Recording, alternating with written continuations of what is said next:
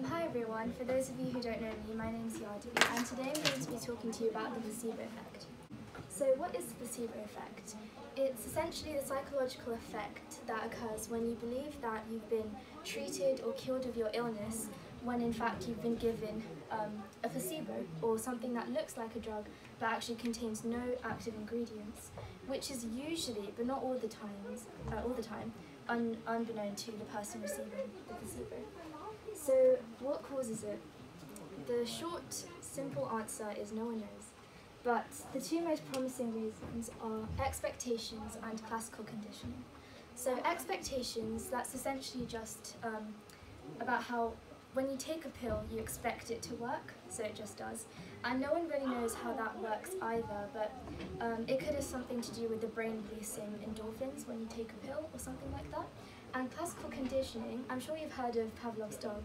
So um, the scientists gave this dog food and it would salivate, and then um, he would train the dog by ringing a bell every time he fed it. So after some time, the dog would salivate just by hearing the bell without the food actually being served too. So that's when we um, learn to associate a neutral stimulus, like ingesting a pill or just taking some syrup, for example, with the effect of feeling better or feeling less pain, for example. Um, so what about expectations when you give a placebo to something that can't hold expectations? So for example, animals. In one study, um, researchers were testing a treatment for canine epilepsy and found that dogs in the placebo group had fewer seizures than when they'd started the trial. Now obviously a dog is not going to expect to have fewer seizures, but um, this could be explained by classical conditioning if they um, had received treatment for epilepsy before. But interestingly, research also shows that the expectations of owners and vets can even influence progress in their pets. Um, in humans, so a study explored the placebo effect by testing how people reacted to migraine pain medication. One group took a drug that was labelled with the drug's name, another group took a placebo that was literally labelled placebo, and a third group took nothing. And surprisingly, the group that took the placebo, and they knew it was a placebo, um, the placebo was shown to be 50% as effective as the real drug. So expectations might not have worked here because they wouldn't have expected it to work, but it did, so that could have also been due to classical conditioning. Um, in the book Bad Science, it actually describes a patient being given sugar pills for a condition, and they were told by their doctor that the pills had absolutely no medicine in them, that they had worked before, so they could work for that patient, and it actually did end up working.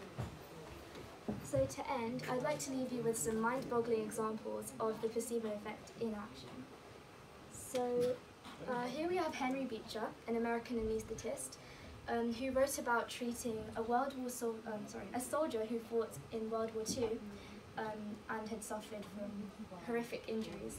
Now Henry Beecher had run out of morphine, which is a painkiller, so instead he used salt water, and that patient felt no pain at all. He was completely fine. My next example is this. So we have Dr. Stewart Wolf, who took two women who had um, nausea and vomiting, and he administered to them a drug called Ipecac, which is actually a vomit inducer. And these two women didn't know that they were um, being given vomit inducer, and they actually reported um, fewer gastric contractions, and you know their vomiting had reduced. So that's quite shocking.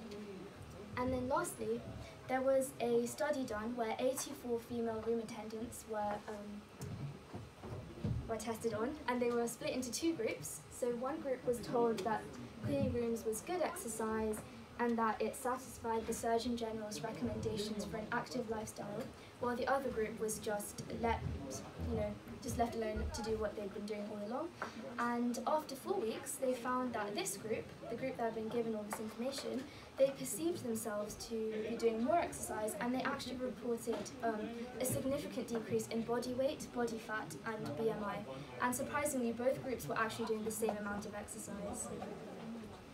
So to end, I'd like to leave you with some food for thought and consider the ethics that surround the placebo effect. So when you're carrying out a drug trial, do you think it's ethical to give a patient um, something that they haven't consented to if they don't know exactly what they're getting?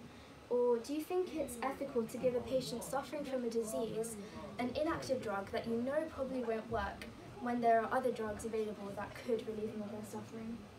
Thank you for listening. ハハハハ!